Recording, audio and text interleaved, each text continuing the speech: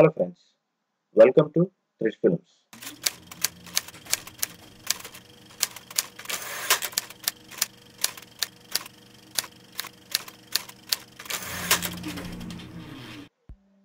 ನನಗೆ ತುಂಬಾ ದಿನಗಳಿಂದ ಮೇಲ್ಗಳು ಬರ್ತಾ ಇತ್ತು ನುಡಿಗೆ ಸಂಬಂಧಪಟ್ಟ ಹಾಗೆ ಅಂದ್ರೆ ನುಡಿಯನ್ನ ಬೇಸಿಕ್ ಇಂದ ಹೇಳ್ಕೊಡಿ ಅಂತ ಕೆಲವೊಬ್ಬರ ರಿಕ್ವೆಸ್ಟ್ಗಳಾಗಿತ್ತು ಪ್ರತಿಯೊಂದು ಅಕ್ಷರವನ್ನ ನುಡಿನಲ್ಲಿ ಹೇಗೆ ಟೈಪ್ ಮಾಡೋದು ತಿಳಿಸ್ಕೊಡಿ ಅಂತ ಕೆಲವರು ರಿಕ್ವೆಸ್ಟ್ ಮಾಡ್ಕೊಂಡಿದ್ರು.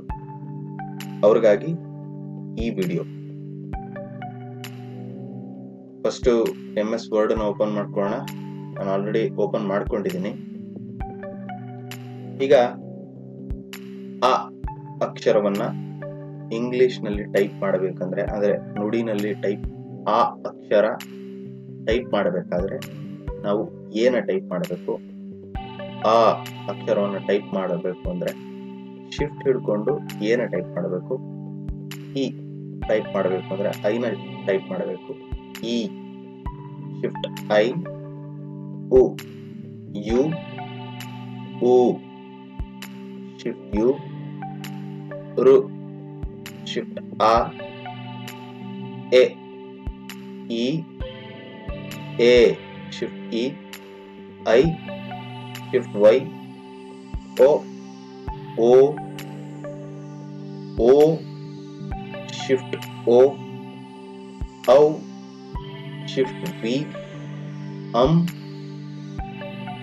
ಎ ಟೈಪ್ ಮಾಡಿ ನಂತರ ಶಿಫ್ಟ್ ಹಿಡ್ಕೊಂಡು ಎಂ ನ ಹೊಡಿಬೇಕು. ಅಹಾ ಏನ ಟೈಪ್ ಮಾಡಿ ನಂತರ ಶಿಫ್ಟ್ ಹಿಡ್ಕೊಂಡು ಹೆಚ್ಚನ ಟೈಪ್ ಮಾಡಬೇಕು. ನಂತರ ಕ. ಕ ಟೈಪ್ ಮಾಡಬೇಕು ಅಂದ್ರೆ ಕೇನ ಟೈಪ್ ಮಾಡಬೇಕು. ಖ. ಟೈಪ್ ಮಾಡ್ಬೇಕಂದ್ರೆ ಶಿಫ್ಟ್ ಕೇನ ಹೊಡಿಬೇಕು.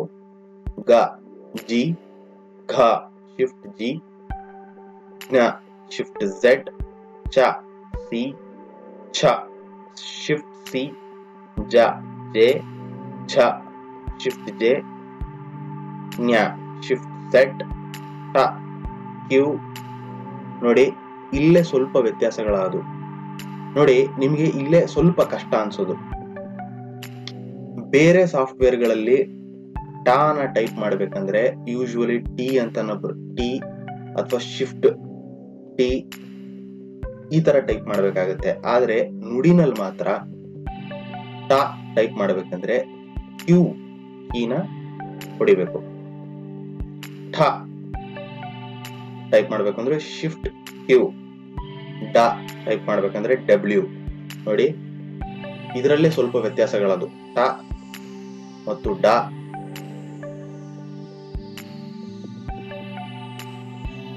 ಈ ಅಕ್ಷರಗಳೇ ನಿಮಗೆ ಸ್ವಲ್ಪ ಕಷ್ಟ ಅನ್ಸೋದು. ಇದನ್ನ ಸ್ವಲ್ಪ ನೀಟಾಗಿ ನೋಡ್ಕೋಬೇಕು. ಡ ಟೈಪ್ ಮಾಡಬೇಕು ಅಂದ್ರೆ ಡಬ್ಲ್ಯೂ, ಢ, ಶಿಫ್ಟ್ ಡಬ್ಲ್ಯೂ ನ ಶಿಫ್ಟ್ ಎನ್, ತ, ಟಿ, ಥ, ಶಿಫ್ಟ್ ಟಿ, ದ, ಡಿ, ಧ, ಶಿಫ್ಟ್ ಟಿ, ನ, ಎನ್ ಪ ಪಿ ಫ ಶಿಫ್ಟ್ ಪಿ ಬ, ಬಿ ಫ ಶಿಫ್ಟ್ ಪಿ ಮ, ಎಂ, ಯ, ವೈ, ರ, ಆರ್, ಲ, ಎಲ್, ವ, ಬಿ ಶ ಶಿಫ್ಟ್ ಹಿಡ್ಕೊಂಡು ಎಸ್ ಅನ್ನ ಟೈಪ್ ಮಾಡಬೇಕು. ಶ ಇದನ್ನ ಟೈಪ್ ಮಾಡಬೇಕಂದ್ರೆ ಎಕ್ಸ್ ಇನ ಟೈಪ್ ಮಾಡಬೇಕು. ಹಾಗೆ ಸಾನ ಟೈಪ್ ಮಾಡಬೇಕು ಅಂದ್ರೆ ಎಸ್ನ ಟೈಪ್ ಮಾಡಬೇಕು. ಹ ಹೆಚ್ ಳ ಶಿಫ್ಟ್ ಹಿಡ್ಕೊಂಡು ಎಲ್ಲನ ಟೈಪ್ ಮಾಡಬೇಕು. ಕ್ಷ ಏನ ಟೈಪ್ ಮಾಡಿ ನಂತರ ಎಫ್ನ ಟೈಪ್ ಮಾಡಿ ಅನಂತರ ಎಕ್ಸ್ನ ಟೈಪ್ ಮಾಡಿದ್ರೆ ಕ್ಷ ಬರುತ್ತೆ. ಫಸ್ಟ್ ಏನ ಟೈಪ್ ಮಾಡಬೇಕು. ಎಫ್ನ ಟೈಪ್ ಮಾಡಿದ್ರೆ ಅರ್ಧಾಕ್ಷರವಾಗುತ್ತೆ. ನಂತರ ಎಕ್ಸ್ನ ಟೈಪ್ ಮಾಡಿದ್ರೆ ಕ್ಷ ಆಗುತ್ತೆ. ಮತ್ತು ಕೊನೆ ಅಕ್ಷರ ಜ್ಞ ಜೆ ನ ಟೈಪ್ ಮಾಡಿ ಎಫ್ನ ಟೈಪ್ ಮಾಡಿ, ಮತ್ತು ಎನ್ನ ಟೈಪ್ ಮಾಡಬೇಕು. ಗೊತ್ತಾಯ್ತಲ್ಲ ಫ್ರೆಂಡ್ಸ್ ನಾನು ನಿಮಗೆ ಇವತ್ತು ಹೇಳ್ಕೊಟ್ಟಿರುವಂತ ವಿಷಯ ಅರ್ಥವಾಗಿದೆ ಅನ್ಕೊಂಡಿದ್ದೀನಿ ಇನ್ನಷ್ಟು ಉಪಯುಕ್ತ ಮಾಹಿತಿಗಳೊಂದಿಗೆ ನನ್ನ ಮುಂದಿನ ವಿಡಿಯೋದಲ್ಲಿ ನಿಮ್ಮ ಮುಂದೆ ಬರ್ತೀನಿ. ಅಲ್ಲಿ ತನಕ ಬಾಯ್ ಥ್ಯಾಂಕ್ ಯು